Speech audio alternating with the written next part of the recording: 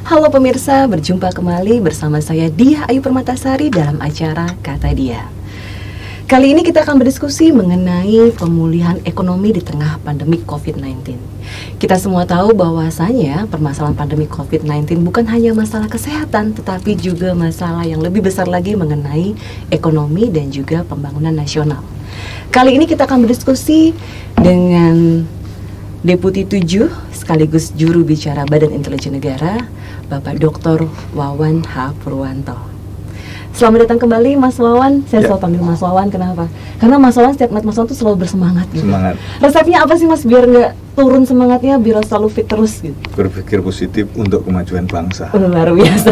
Ini yang harus saya ambil betul, nih. Betul. Karena setiap hari ngeliat Mas Wawan bolak-balik bolak-balik aktivitasnya luar biasa, tapi semangatnya senyumnya tuh nggak pernah lepas gitu. Ya, karena senyum make you are beautiful. Gitu. Oke Mas, kita kembali lagi diskusi. Kali ini kita bicara mengenai apa namanya efek dari pandemi COVID-19 yang sampai saat ini belum terselesaikan. Mungkin bisa dibantu dari eh, kacamata intelijen. Kira-kira permasalahan COVID-19 khususnya di bidang ekonomi ini efeknya eh, harus ke, akan melari ke arah mana nih Mas? Ya kita harus sadari bahwa ini efek ekonomi memang tidak hanya ke Indonesia, tapi ke seluruh dunia ya. Mereka mengalami minus yang luar biasa. Tetangga kita seperti Singapura minusnya sampai 41,2 persen. Ya. Itu yang negara terdekat dan terus dibilang negara maju ya, macan Asia di sini. Indonesia minus 5,32 ini menjadi satu spot bahwa eh, kita masih anu lah mending gitu ya eh, dibanding negara-negara lain yang eh, rata-rata double digit. Kita masih satu digit. Hanya persoalannya ini menjadi satu PR juga. Bagaimana supaya recovery itu bisa cepat? Ada yang meramal recovery akan cepat. Itu pada dua negara yaitu Indonesia dan China. Ini menjadi salah satu optimisme kita untuk bisa melakukan langkah-langkah eh, eh, kuda untuk berjalan zigzag, tapi tetap harus terencana secara baik. Karena imbasnya bukan hanya ekonomi atau kesehatan saja, tapi juga sudah mengarah ke politik dan juga masalah sosial. Oleh karenanya eh, kita tetap eh, berupaya bagaimana Indonesia ini eh, masyarakat diberikan literasi secara mandiri supaya mereka juga paham meskipun di tengah COVID seperti ini tetap daya upaya untuk mendongkrak ekonomi dari masing-masing itu tetap berjalan meskipun tanpa meninggalkan protokol kesehatan. Jadi misalnya ya mall-mall silahkan buka, kemudian juga kafetaria ataupun eh, bisnis-bisnis eceran silahkan, tapi jangan meninggalkan protokol kesehatan ini dan tetap eh, aturan dari masing-masing Pemda ya ditaati jam buka, jam tutupnya, kemudian juga penggunaan eh, masker, kemudian juga cuci tangan. Dan waktu itu kita sarankan untuk pakai sarung tangan misalnya ya, itu juga di apa supaya direkomendasikan untuk ditaati. Sehingga ekonomi ini tetap berjalan. Dan kita sadari sekarang PSBB memang ada sebagian yang eh, dalam kondisi new normal udah mulai dilonggarkan akan tapi kita eh, ingin supaya mereka taat azas lah. Tetap waspada ya Mas? waspada. Jangan sembrono tapi juga nggak perlu paranoid karena ini kita akan hidup berdampingan dengan kondisi flu yang terus em, menyerang. Di sumpah negara Korea sekarang PSBB diperketat lagi karena setelah dilonggarkan ternyata Jumlah anggota melonjak. Di sejumlah tempat kita juga mengalami lonjakan. Akan tetapi kita eh, tetap berupaya untuk melakukan upaya-upaya pengobatan deteksi dini dengan rapid test PCR eh, kemudian juga melakukan apa upaya-upaya mandirikan mereka di dalam eh, di rumah ataupun di rumah sakit. Nah ini semua tetap kita tata, tapi ekonomi tetap mencoba menggeliat, termasuk pariwisata sekarang sudah mulai menggeliat di sejumlah tempat. Eh, hanya di mereka tetap kita cek apakah dia menyediakan sarana prasarana untuk cuci tangan kemudian juga duduknya ada Jarak. physical distance itu tetap ya kita kita tekankan untuk eh, seperti itu kemudian di masing-masing tempat juga separuh kekuatan supaya uh, tidak full ya berdesak-desakan apalagi kalau ada insiden terus Hmm. seperti itu. Jadi yang menarik nih Mas, bahwasanya memang tantangannya itu bukan hanya memanu- mematuhi protokol kesehatan, tetapi juga kita harus membuat recovery atau pemulihan ekonomi yang secepat-cepatnya gitu. Kalau Betul. tidak kita akan tanda kutip eh, belajar dari pengalaman pengalaman negara negara-negara Ya. tetangga kita gitu. Ya. Nah, yang unik adalah ketika ngomong pandemi COVID-19 itu ada satu highlight atau kata kunci yaitu ketidakpastian. Hmm. Kita tidak pernah tahu kapan ini berakhir, kita tidak pernah tahu kapan ini termitigasi, kapan vaksin akan ditemukan, kapan itu akan selesai gitu. Nah, untuk mengatasi kata kunci ini, kira-kira balik lagi strategi masyarakat apa yang harus disiapkan buat mereka gitu, apa yang harus dilakukan oleh masyarakat. Masyarakat sebaiknya ya kita tetap optimis lah bisa menghadapi ini. Pemerintah juga tidak tinggal diam mengatasi ini. Badan Intelijen Negara sendiri sudah mengumpulkan para pakar virologi ya virus ya. Kemudian rumah sakit rumah sakit rujukan, universitas-universitas yang memiliki fakultas kedokteran dan farmasi. Demikian juga kita kumpulkan ya, yang lab-lab kenamaan ya seperti Eijkman maupun lab-lab kenamaan lainnya yang kita sudah kumpulkan di sini untuk bisa menciptakan obat maupun menciptakan vaksin. Nah obat ini memang dengan UNER yang lebih dulu dia mendeklar itu ya universitas lain kan masih kita tunggu. Nah, sekarang sudah uji klinis yang ketiga dan masih TikTok terus dengan pihak BPOM. Nah, monggo nanti penilaiannya seperti apa, apa yang harus kita perbaiki tetap kita perbaiki. Kalau vaksin memang kita masih ngejar ke eh, lab ya, Eijkman misalnya, belum selesai juga. Nah ini vaksin merah putih. Nah kita ingin nah, eh, dari D ke per D kan kita selalu kejar itu. Labjunya seperti apa? Kita juga ditanyai oleh presiden. Karena presiden ingin bisa secepatnya kita atasi tanpa meninggalkan klausul dari apa protokol yang ditentukan oleh BPOM dan juga dari WHO. Kita ikutilah taat asas dari itu semua. Dan kalau ditanyakan kapan ini akan berakhir, nobody knows Knows, about that ya Tidak karena pasti itu ya, menjadi. karena dia akan terus bermutasi virus ini. Virus yang ada di Indonesia berbeda dengan yang di Cina, berbeda dengan yang di Amerika, kemudian di Rusia maupun negara lain itu beda karena eh, sudah mengatas, eh, mengalami mutasi-mutasi.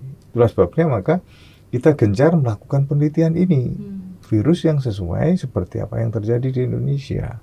Dan kita ingin masyarakat juga mendukung ya. Pro kontra itu biasa, karena pandangan eh, kritis itu hal yang biasa.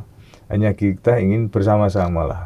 Ini bukan karya pribadi, bukan karya lembaga pribadi atau ke kelompok. Nah, ini karya anak bangsa kita yang bareng-bareng.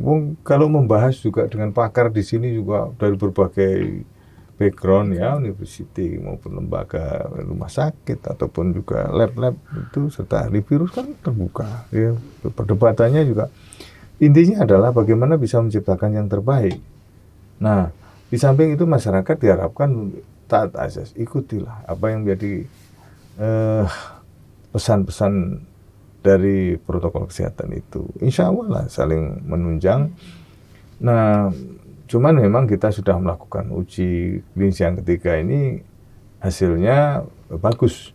Hanya masih ada beberapa ya dari TikTok dengan BPOM yang perlu diperbaiki ya kita ikuti. Tidak ada masalah. Kita ikuti terus apa yang menjadi klausul yang mestinya harus ditingkatkan misalnya dari sisi randomisasinya ataupun juga eh, tingkat eh, apa rendah, sedang maupun berat. Jadi semua kita ikuti. Jadi emang Gitu. dari dari upaya BIN juga eh, setengah mati untuk memberikan yang terbaik lah untuk masyarakat dalam rangka untuk Betul. memberikan kepastian kapan ini COVID berakhir. Nah ini kita balik lagi ke masalah pemulihan ekonomi nih mas. Ya. Industri ini kan sebenarnya eh, pelaku usaha juga menunggu gitu. Ya. Kira-kira oh eh, mungkin kalau COVID-nya sudah reda, saya mulai akan buka usaha lagi. Saya akan mulai dapat tanda kutip eh, terutama di bidang eh, tourism ya Hmm. wisat wisatawan akan datang kembali gitu Hmm. atau kalau dalam bidang investasi mungkin mengharapkan dana dana yang akan masuk untuk memulai lagi eh, apa namanya penanaman modal di Indonesia gitu Hmm. nah kira-kira nih harapan atau permasalahan apa yang terbesar gitu dalam uh, menarik tanda kutip uh, investasi atau pemulihan ekonomi melalui uh, mungkin penyederhanaan regulasi mungkin contohnya gitu yang membuat kita semua bisa mengakselerasi pemulihan ekonomi gitu mas. Ya kita memang punya undang-undang ya untuk investasi kemudian undang-undang ketenaga kerjaan undang-undang di bidang perpajakan dalam pengadaan lahan dan sebagainya. Nah ini kita kan juga sedang upaya disatukan itu ya dari 79 undang-undang yang ada itu akan disatukan dan meskipun pasalnya juga banyak, ada 1204 ya. Ya kita ingin penyederhanaan tadi sehingga ini lebih simpel, hmm. lebih menarik lah bagi investor. Karena selama ini dengan kebijakan otonomi sama-sama undang-undangnya dari pusat, tapi di daerah beda-beda. Aplikasinya. Ya? Aplikasinya karena di sana ada perda-perda gitu. Sehingga masing-masing daerah menjadi ada yang menarik, ada yang tidak, ada hmm. yang double uh, penarik pajak, ada uh, di wilayah A ternyata juga diperlakukan yang berbeda dengan wilayah B. Nah, ini yang sekarang ingin kita samakan dan tidak berbelit ya. Kalau dulu kan berbelit di pusat sudah oke, okay, di tingkat satu oke, okay, tingkat duanya belum. Belum di lapangan. Di lapangannya gangguan banyak sehingga akhirnya menjadi ekonomi biaya tinggi. Hal-hal seperti ini kita coba sederhanakan untuk uh, dengan pelayanan cepat, uh, ringkas, dan juga ada win-win solution ya dari semua aspek kita uh, coba tampung. Hanya memang uh, karena ini 79 undang-undang jadikan satu kan mesti belanja masalahnya juga banyak, banyak gitu. Banyak. Oleh karenanya wajar kalau ada pro kontra ya, ada protes di sana sini. Tapi lama-lama itu akan mengerucut karena masing-masing pihak akhirnya give and take lah. Mereka memberi saran pendapat, kemudian diterima, ditampung, dibikin harmoni dan hmm, semuanya nanti juga akan ada uh, apa uji publik minimal minimal di lima kota besar. Di sanalah itu nanti akan ada kritisisasi hmm. dari semua elemen. Ada kementerian, lembaga, ormas, OKP, kemudian juga akademisi, mahasiswa, buruh pekerja semua kita kita apa, berikan peluang. Dan saya lihat e, perlahan mulai tahu masyarakat itu. E, masyarakat banyak juga yang termakan oleh hoax. Dari aturan yang awal masih disebarkan padahal itu aturan sudah menerima e, sejumlah perubahan-perubahan. Nah perubahan-perubahan malah justru tidak disampaikan ke masyarakat. Ada yang seperti itu sehingga masyarakat e, diberi pengertian yang keliru. Nah inilah yang kita ingin supaya masyarakat membaca dari perubahan-perubahan klausul yang sudah mengalami kemajuan-kemajuan dari berbagai pertemuan-pertemuan dan pembahasan dari FGD FGD maupun juga dari rapat-rapat internet dan melibatkan elemen-elemen yang uh, ada. Ini uh, intinya adalah bagaimana kita mengalami percepatan untuk menciptakan lapangan kerja tidak hanya di Jawa. Kalau kita melihat orang yang dituntut oh, seolah-olah di Jawa saja. Coba lihatlah di daerah lain yang merana investasi kebanyakan di tempat-tempat tertentu saja tidak ada. Di tempat lain kebetulan mungkin orang segan karena apa? Di sana pengutangnya lebih berbelit, ya, kemudian juga upahnya dan sebagainya itu tidak uh, signifikan banyak apa penarikan penarikan Nah, ya, nggak jelas. Ini semua akan uh, kita uh, satukan langkah sehingga investasi di mana pun sama. Hmm. Kan orang dulu, oh di Jakarta gini kok di Aceh beda, beda di Papua berbeda, padahal undang-undangnya sama. Hmm. Karena tadi ada tumpang tindih satu nama lain dengan uh, perda-perda. Nah kita tidak ingin itu tumpang tindih. Nah inilah yang kita ingin ada suatu kemudahan, insentif real, kemudian juga bantuan secara real dari pemerintah itu nyata adanya sehingga mereka nyaman di sini. Kalau tidak hengkang semua, akhirnya gimana? Padahal kita angkatan kerja setiap tahun naik. Tapi yang paling bahaya kan pengangguran terdidik. Iya. Akhirnya nanti tidak Lari ya, ya, eh, itu dia ini yang perlu kita Jadi intinya memang eh, untuk mempercepat akselerasi pemulihan ekonomi gitu ya, untuk Hmm. mencegah kita ke dalam minus yang lebih banyak lagi, memang Betul. kita harus melakukan apa speed up gitu. Salah Betul. satunya adalah penyederhanaan regul- regulasi melalui mungkin RU Omnibus Law gitu ya, betul dengan membuat eh, tanda kutip masyarakat menikmati eh, kemudahan secara merata gitu. Nah, betul. yang terjadi adalah di lapangan resistensi itu tetap ada gitu mas, Jadi, baik dari kalangan buruh, masyarakat yang yang mereka melakukan aksi-aksi yang menyatakan penolakan terhadap RUU Omnibus Law khususnya Cipta Kerja. Padahal maksudnya sendiri juga bertujuan baik gitu ya untuk memberikan Hmm. kemudahan untuk mengakselerasi pemulihan ekonomi kita. Kira-kira gimana nih mas? Ya pro kontra awalnya memang kencang ya. Hmm. karena mereka kan baru awal itu Iya. melihat klausul-klausul ini baru kencang. Terus mereka juga melakukan demo aksi dan sebagainya. Hanya karena di tengah covid sehingga mereka juga terbatasi karena ada aturan-aturan uh, social distance dan sebagainya. Tapi saran pendapat kan tetap bisa masuk.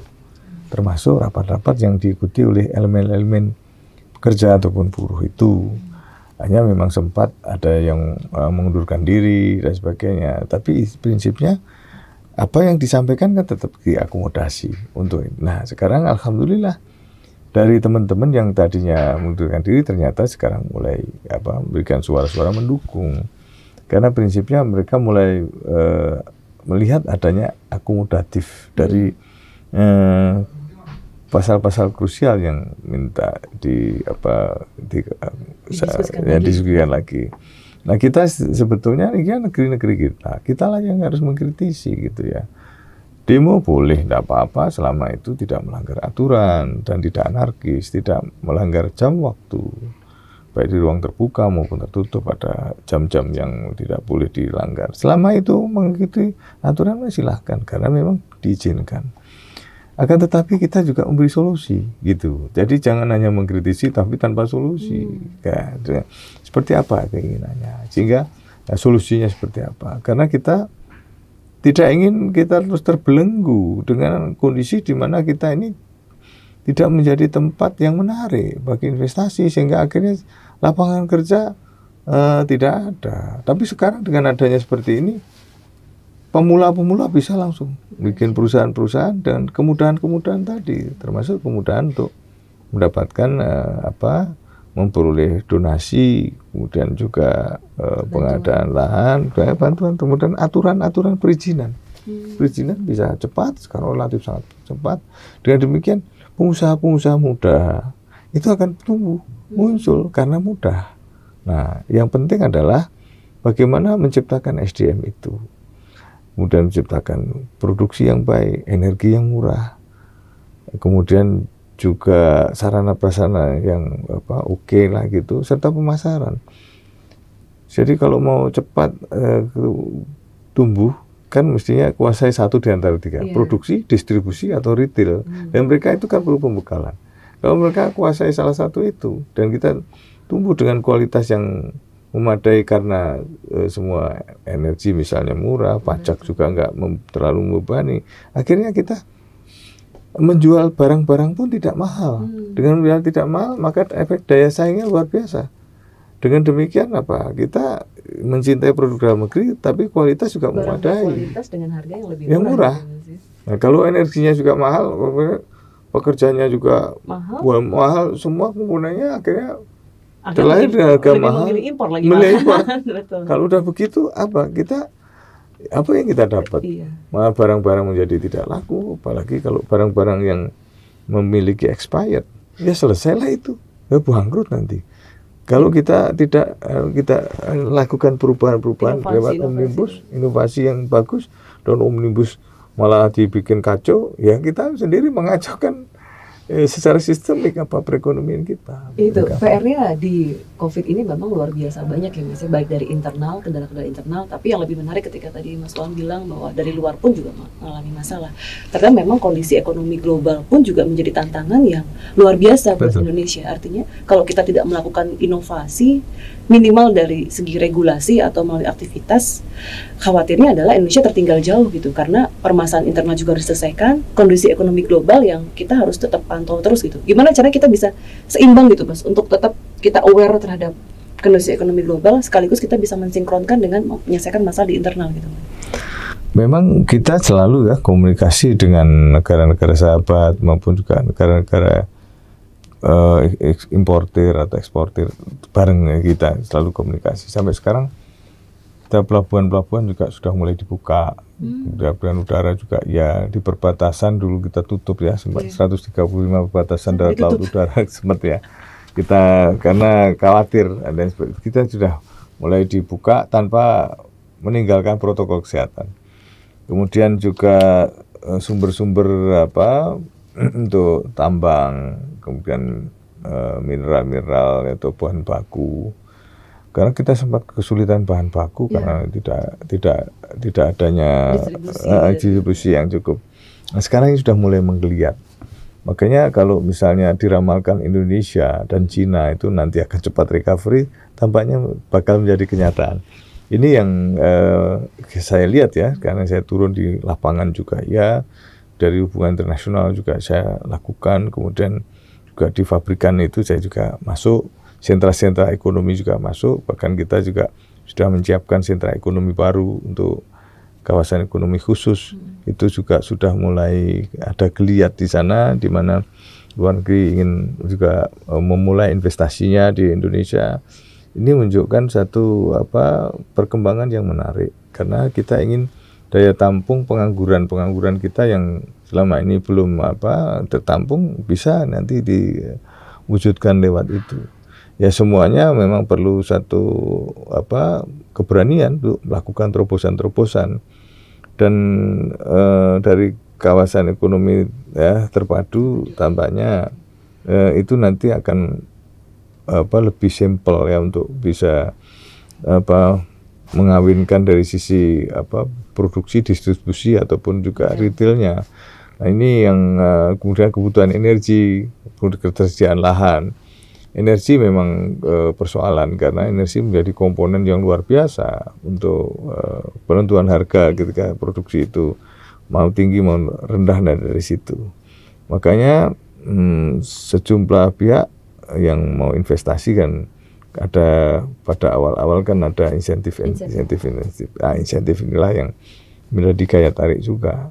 Nah kita ingin eh, masyarakat juga terbiasa untuk membaca secara kritis apa data-data lapangan sehingga eh, analisa pun harus dasarkan satu data ilmiah. Tidak hanya pada asumsi ataupun apa yang ada di hoax itu ya itu dampaknya luar biasa. Oke, gitu. jadi artinya memang dalam melakukan usaha pun kita tetap menggunakan strategi, menggunakan data, menggunakan riset, harus lebih matang dalam melakukan aktivitas ya mas ya, dalam Betul. segala aktivitas. Mungkin satu lagi nih mas, optimisme apa yang harus dibangun oleh masyarakat bahwa kita semua yakin masalah ini semua akan bisa teratasi dengan baik dan kita semua bisa melakukan aktivitas bahkan lebih baik dari sebelumnya gitu. Kita pernah mengalami krisis juga di tahun-tahun sebelumnya, krisis 98 juga itu. Entah kita bisa melewatinya dengan uh, tegar dan akhirnya juga kita masuk dalam G20. Hmm. Nah, maka dan pendapatan per kapita kita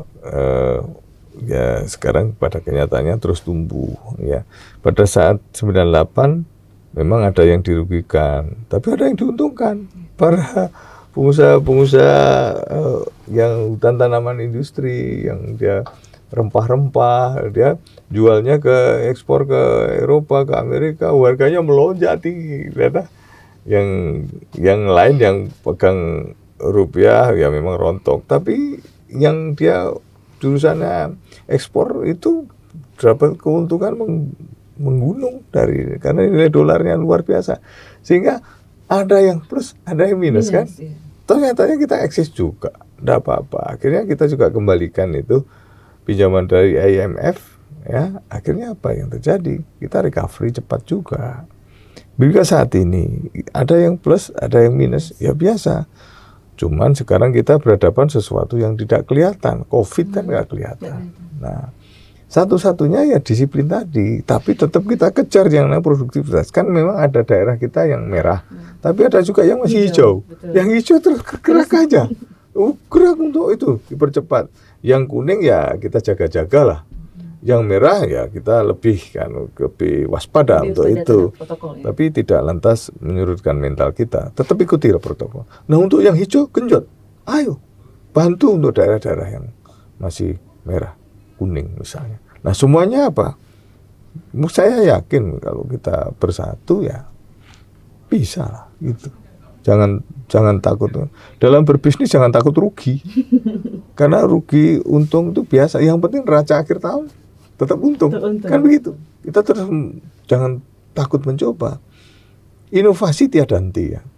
Resource limited, but uh, innovation unlimited. Nah itu bagi negara yang ingin maju dan menjadi leader, bukan follower, ya insya Allah ini akan bisa mampu itu dan kita ya maulah yang namanya mengembangkan teknologi berbasis eh, buatan dalam negeri. Ada anak-anak kita di universitas-universitas itu yang mampu kok menciptakan ini. Ada anak kita yang ikut lomba apa robotik juara terus akhirnya dilarang ikut lomba lagi. karena banyak karena sudah juara terus sampai tiga kali akhirnya Udah dilarang. bisa, udah nyerah jurinya ya. betul. Nah itu dunia loh. Akhirnya artinya gini inovasi itu tidak ada nanti. Kita teruslah melakukan perubahan-perubahan perbaikan-perbaikan dan juga eh, di teknologi yang terus berkembang. Insya Allah kita akan cepat recovery eh, termasuk kemandirian di dalam temuan-temuan eh, obat eh, kemudian vaksin kemudian temuan-temuan eh, teknologi terapan dan semuanya itu akan menunjang. Jangan hanya lip service artinya eh, temuan hanya di foto-foto habis itu nggak dilanjut. Tidak bisa begitu. Jadi apa yang bisa dihasilkan kepada masyarakat ini akan membuat indeks aplikasi teknologi terapan dari temuan anak negeri ini akan mengangkat kita gitu. Iya, Apalagi dari BIN sendiri pun sudah luar biasa ya, Mas eh, melakukan inovasi-inovasi yang memang untuk membuat masyarakat jauh lebih merasa nyaman gitu ya dengan vaksin dan aktivitas lain gitu. Ya, BIN ini karena perintah presiden untuk bergerak cepat. Dulu ketika pandemi pertama kita kesulitan untuk itu ya. Saya saya pagi-pagi saya mau ketemu Pak Menkes begitu Wuhan geger itu. Saya menghadap Pak Menkes, Pak Menkes sedang dipanggil presiden. Akhirnya saya nemuin siapa yang bagian wabah. Akhirnya ditunjuklah Dokter Budi. Akhirnya saya bicara Dokter Budi. Akhirnya saya, Mas kita ketemu Mas Doni Munardo karena dia beliau BNPB. Oke Mas kita ke sana. Akhirnya kita rapat bertiga.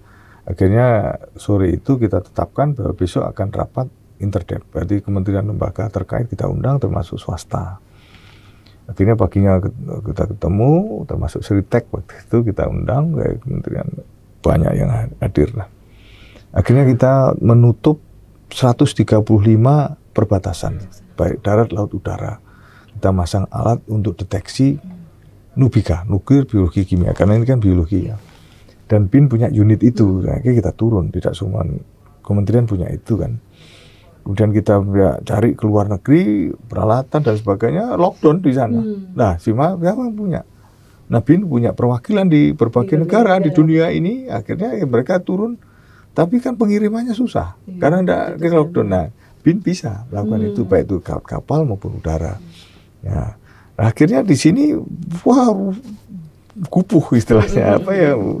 Nah, akhirnya perintah presiden lakukanlah langkah-langkah cepat kan begitu. Kita lakukan itu. Kita punya klinik klinik kita besarkan kita merekrut dokter baru tenaga kesehatan baru kita bentuk lab-lab untuk PCR yang lab mobile. Untuk itu dan kita bergerak rapid test daerah-daerah merah bahkan daerah hitam di Jawa Timur misalnya. Tetap itu terus terus ya. jualan terus. Kita nyemprot keliling terus siang malam saya ikut turun itu pakai damkar itu. Wah terus pakai mobil-mobil tangki segala macam. Kita turun.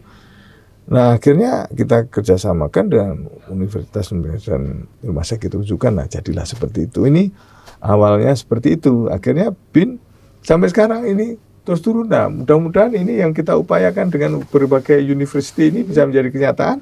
Dan kami bin akan eh, membuat rumah sakit baru ya pengembangan dari klinik yang ada dan STIN Sekolah Tinggi Tirajasa Negara saya dulu rektornya di sana eh, gubernur ya istilahnya Iya, benar. nah itu akan ada studi baru tentang Hmm. medical intelligence Setuju. karena ini nanti ancaman ke depan kan juga nggak lepas dari itu pasti akan Bukan hanya ini ya. Eh, itu.